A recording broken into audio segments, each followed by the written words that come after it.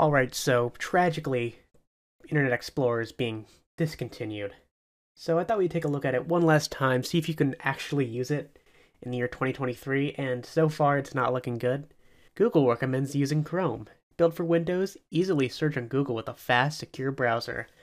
No thank you. Uh, and it, it doesn't work. Honestly, I thought it would work. Please update your browser. It's begging me to.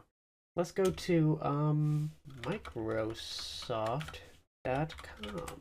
It really wants me to uh switch browsers.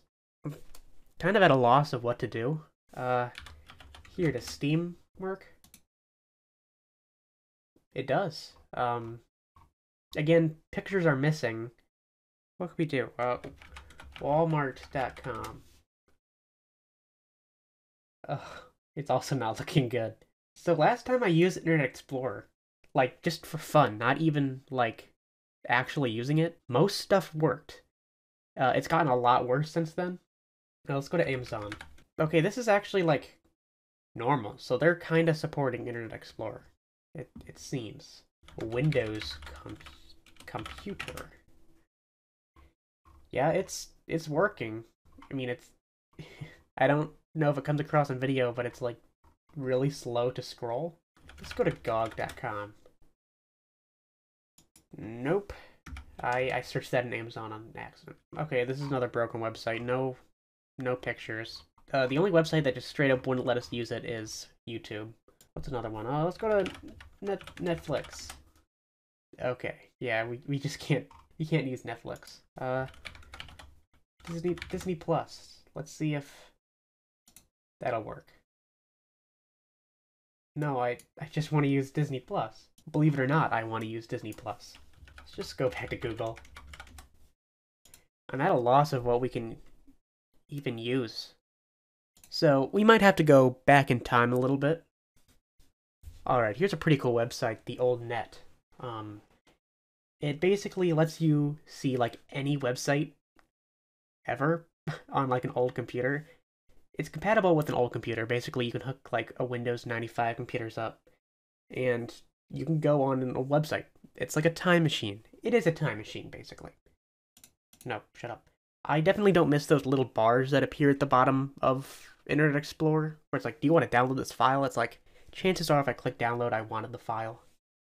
Alright, here we go. We're on um, idsoftware.com. It's pretty bland. I don't miss the under construction banners either.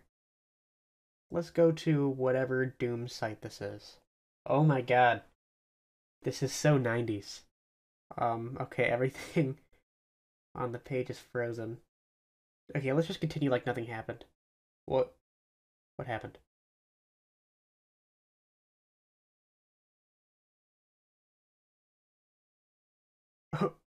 Oh, look at that GIF. That's great. That's great. Let's uh let's go to GeoCities. Let's go see some crusty old websites in this crusty old website. News of the day, October 22nd, 1996. Introducing Geo Plus. See the whole like blank plus thing is old. You know, Disney Plus was not the first to do it, believe it or not. Is modern society getting you down? 1996 GeoCities? Yes, it is getting me down. Discover a 3D world. Well, I want to discover a 3D world. I guess we can't discover a 3D world today. Let's go to some uh, neighborhoods. I've never used GeoCities, so I have no idea what's going on. Okay, this looks kind of broken. He's wild, crazy, and maybe a little insane. It's Chris Farley. This is very 1996. Alright, I'm feeling a little hungry. Let's say we uh we order some food. Um www.pizzahut.com. Alright, oh what is what is going on? We're in the year 2002 now, by the way. is this just how Pizza Hut looked in 2002? What am I looking at? what is this? Jeep.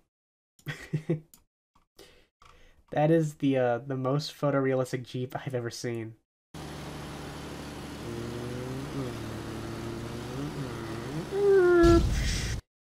Uh, I say we do like a couple more websites. What's a very 90s thing?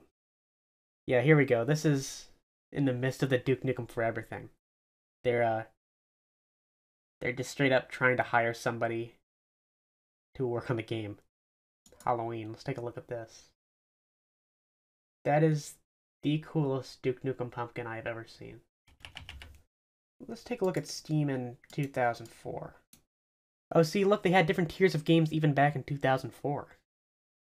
I guess you could preload Half-Life 2 map? The answer to can you use Internet Explorer 11 in 2023 is no. And if you really want to, you have a couple months to do so before I think it's gone forever. To get it on Windows 11, you actually have to jump through some hoops, so uh, look that up, I guess. It's not worth it.